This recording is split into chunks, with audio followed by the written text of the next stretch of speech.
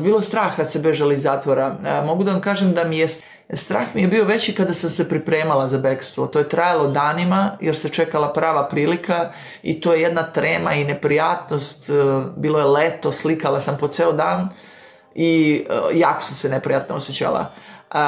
Sam čin kada je krenulo da se dešava to bekstvo, ne tog trenutka verovatno se pojača i taj adrenalin u tebi od straha i sve počne da funkcioniše kao neka mašina i ako si hrabar, a ja mislim da jesam i staložena u toj hrabrosti, onda dobro procesuiraš taj strah i ne ponašaš se blesavo, nego nisam osjećala strah u samom trenutku bekstva.